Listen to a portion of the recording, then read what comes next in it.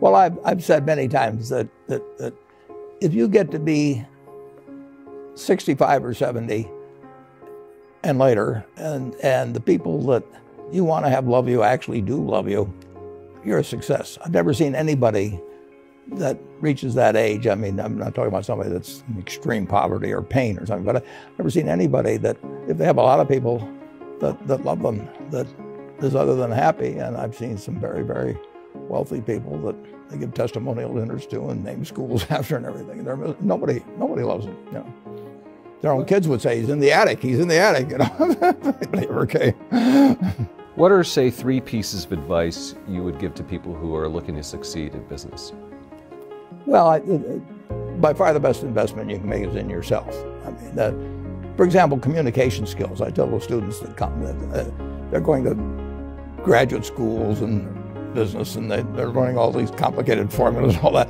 If they just learn to communicate better, both in writing and in person, they increase their value at least 50%. And, I mean, it, uh, if you can't communicate, somebody says, you know, it's like winking at a girl in the dark. Nothing happens, you know, basically. And, and you have to be able to get, get forth your ideas. And, uh, and that's, that's relatively easy. I did it myself with the Dale Carnegie course.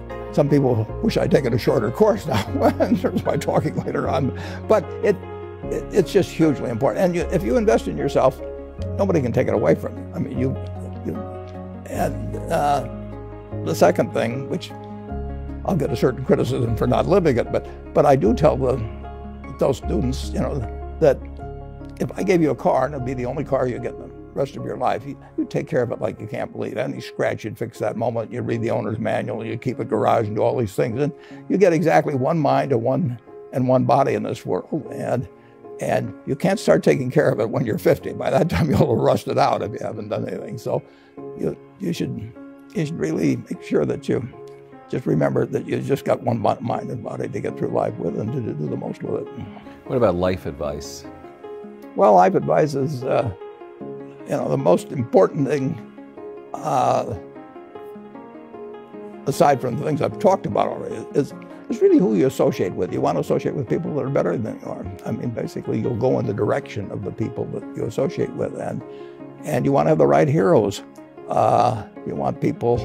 If you want to emulate somebody, you better pick very carefully who you want to emulate. And uh, and when obviously you can't pick your parents. Uh, uh, they're going to have an enormous influence on you, but you don't get a choice on that. But you get choices as you go down the line, and you, uh, who you uh, who you admire, who you, who you, who you want to copy, and the most important for most people in terms of that decision is their spouse. It's also important in terms of a partner in business, but the partner in life is, is, the most important. You, you want to pick a spouse that's a little bit better than you are.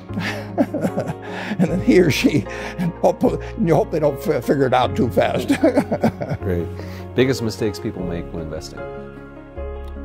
Well, they, they, they try to they, they, they just don't realize that all you have to do is just buy a cross section of America and then never listen to people like me or read the papers or do anything subsequently. Uh, uh, they think they think that because you can trade, you should trade. They, you buy a farm, you buy an apartment house, you can't resell it tomorrow, and, you know the cost of moving around. Or you, now you get something handed to you, liquidity, you know, which is instant. You can sell, and the the cost of doing it are pennies, you know, compared to other kinds of investment activity.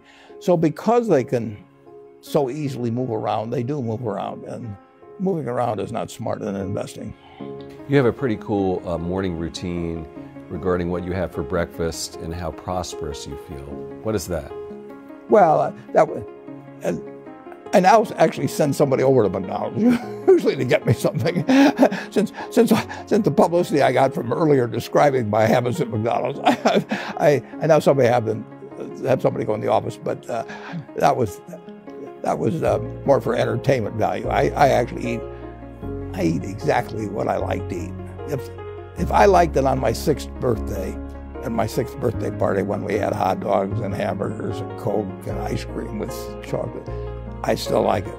And I don't care about anything subsequently. That I discovered it all by the time I was six.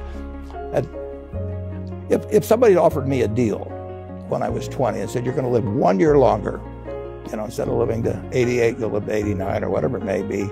If you eat nothing but broccoli and Brussels sprouts and onions and all these things, you know, I just said, I'll, you know, take the last year off. It probably won't be that good anyway. You know, I mean, so I, uh, I eat what I like to eat. I, I, I, uh, I, I'm not venturesome in that area. I like how you lumped in onions with broccoli and Brussels sprouts. I've never heard that.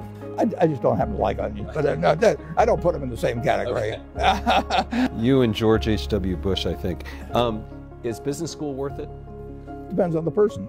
But, uh, much more than it depends on the school. I mean, I, I wouldn't worry. Some people are going to get a lot out of advanced education, and some people are going to get uh, very little. And uh, I, I, don't even think it's important that every person go to college at all. I mean, uh, we have all kinds of jobs at 70 or so thousand a year, or 80,000 a year that college training is, is, is not of use. And, and I, I, actually was not keen on going to college really? myself. Yeah, my dad uh, kind of jollied me into it. He could get me to do anything. But and if they'd had an SAT test in those days, he would have taken the test for me. but but because uh, I, I just I was I, I, I, knew I could have a good time, and I, liked investing, and I didn't really feel I, I could read the books.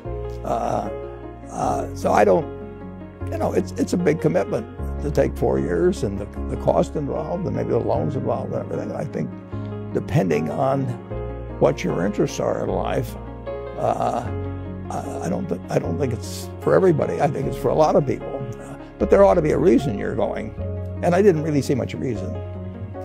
All right, last question. So lightning round. So it's a few. Um, do you ever drink water? Only under uh, duress. what is your favorite all-time song? Uh, it, it's undoubtedly it's my way. What about movie? Favorite movie?